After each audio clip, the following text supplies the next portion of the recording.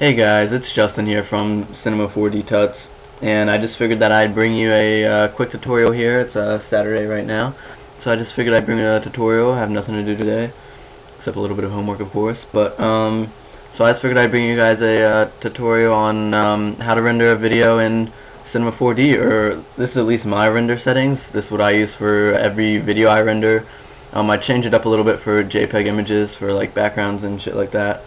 And uh, I hope all of you guys know if you click this button right here that's just to show you like a, a preview of what like uh, frame that like what that frame is going to look like. Um, pretty basic right there. That's just to show you what like what you do will look like or whatever you make will look like you know? So um alright so and if you click this button the middle one in between the two uh, the two render buttons uh, that's like to uh, start your final render. That'll start the you know just the render.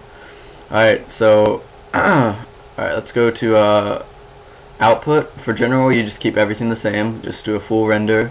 Um, and for output, um, you change this to, or you change the width to 1280 by 720 for the height. Um, that's just uh, that's just like the basic uh, width and height for uh, videos. Um, you keep pixels the same. Um, for mine, I changed the resol or not the resolution. I changed the film aspect to HDTV 16 by 9. I think it might automatically change when you change that to 1280 by 720. Um, and the render settings that you start out with, it basically just they're pretty bad. Um, so you definitely need to change them when you first start rendering videos and such.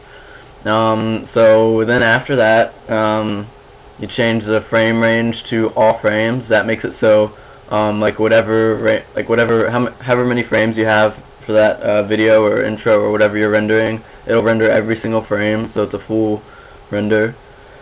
Okay. Uh, alright and then in a save you go to the save tab after that. Um, I change the file I usually just save to desktop and then you type something in the file name.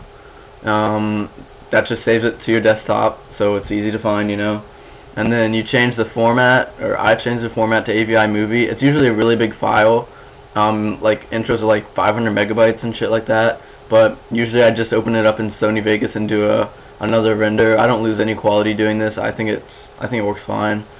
So I change it to AVI movie and render it out with uh, AVI or as an AVI file. And then multipass and uh, anti-aliasing I don't change every I don't change anything. Everything's fine the way it is. And then in options this is to save you a lot of time on rendering. I changed the ray depth to 6 oh not 66 uh, I changed the ray depth to 6 I changed the reflection depth to 2 and then the shadow depth to 6 as well. That basically just gives you half of everything that it already was. I don't lose any quality doing this I don't think. I, it's not a noticeable difference. And renders are a lot faster um, so then after that, after you change all your settings, I would save it. I already have a preset saved, AVI. Um, so you can basically just save the preset as whatever you want. And then you just, whenever you go to render something, you just load preset, load AVI, and everything is perfectly the way it is. And that's what I do. It saves me a lot of time. It's good render settings. And then, you know, you just render it out. So, uh, I hope that helped guys. That was just a pretty quick tutorial. I think the next tutorial will be on how to use materials, how to uh, how to use advanced materials, and uh, let me know what you think in the comments and make suggestions. Uh, make sure to comment, like, subscribe to my new channel. Um, I know it's only been made for like four days, but thanks to everyone who subscribed and who's watching this video, and peace.